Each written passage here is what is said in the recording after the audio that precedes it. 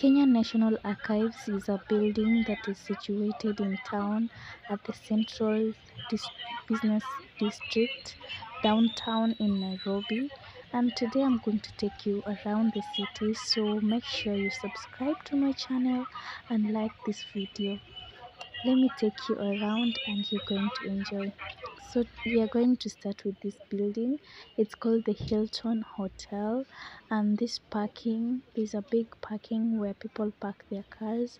We it's famously known as skate park, and uh, yeah, it's a it's a big parking where people skate on Sundays. People sit and wait for it wait for each other.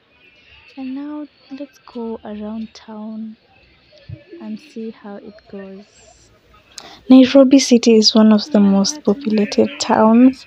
As you can see, there are a lot of people, and people are preaching, and the buildings are tall. If you're new in Nairobi, you will definitely look around, look up, and yeah, there are a lot of people in town.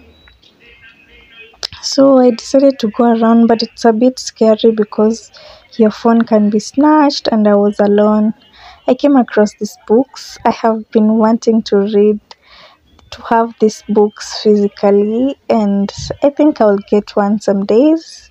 Someday they're really cheap. And I passed through a place where they were selling shoes, and I decided to try. And I got I got myself this pair.